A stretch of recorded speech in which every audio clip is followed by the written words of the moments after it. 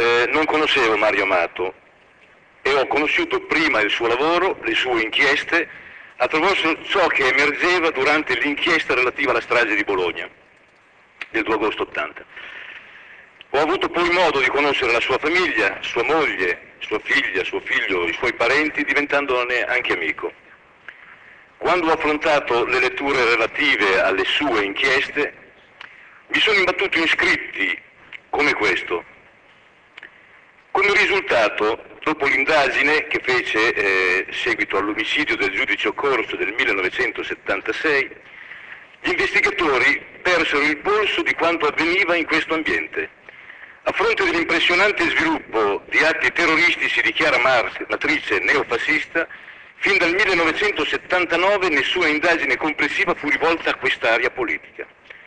Quando questo fu avviata, un solo sostituto procuratore, Mario Amato, fu investito del compito di riunire e trattare una moltitudine di procedimenti contro ignoti rivendicati da sigle di destra e per farlo, notano amaramente i sostituti che ne raccolsero l'eredità, è significativo che si debba ricorrere alla spulciatura del registro generale della Procura.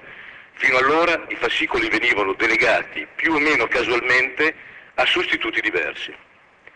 Anche Fioravanti, l'esecutore della strage di Bologna, quando parla di quei momenti durante il processo per la strage, riconosce che vi furono forze dello Stato, forze dello Stato stesso, a cui eravamo simpatici fino a quel momento, poiché ci consideravano figli della borghesia, lasciandoci scorazzare liberamente per tutta Roma.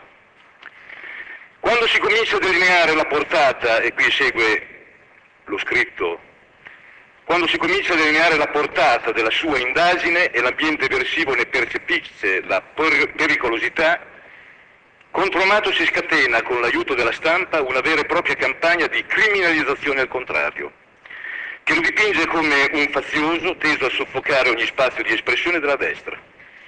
Nella campagna si distingue l'ordine forense romano, che in un durissimo documento di protesta sollecita un provvedimento disciplinare contro di lui per aver ordinato l'arresto di Paolo Signorelli. Le sue pressanti richieste di venire affiancato da altri collegi incontrano la sistematica latitanza del procuratore che neppure lo sollevava dai soliti compiti ordinari di udienza. Si tenga conto che tutto ciò si verificava mentre il procuratore assegnava ben cinque sostituti ad una squallida vicenda di scommesse calcistiche, il cosiddetto Toto Nero. Alcuni magistrati lo attaccarono apertamente e altri gli, consigli- eh, gli consigliano di seguire la tradizionale linea morbida nei confronti della destra. Quando le sue indagini si appuntano per la prima volta su ambienti e personaggi di alto livello, la sua eliminazione diventa un passaggio obbligato per la progettualità di tutto l'ambiente versivo. Ciononostante non gli viene fornita alcuna protezione, solo, disarmato, senza scorta, Amato incontrerà i suoi killer la mattina del 23 giugno 1980, mentre attende l'autobus, Fioravanti e Mambro festeggiarono l'assassinio con una cena a base di ostriche e champagne.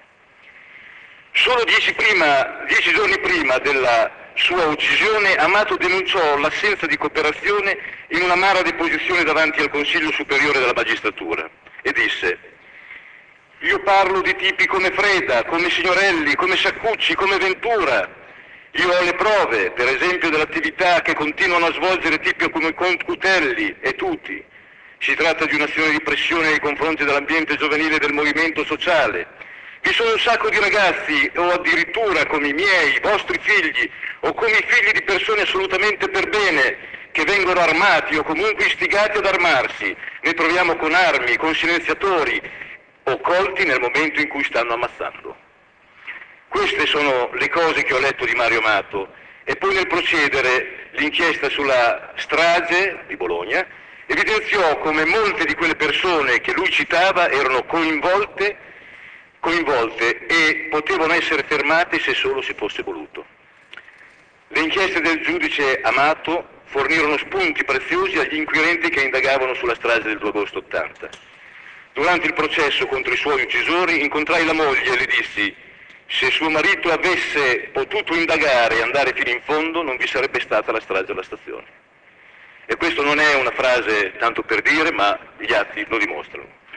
Tutta l'associazione che rappresento si stringe attorno alla famiglia nel ricordo di una persona esemplare che ha messo al primo posto il compimento del proprio dovere pagando con la propria vita. Grazie di avermi invitato.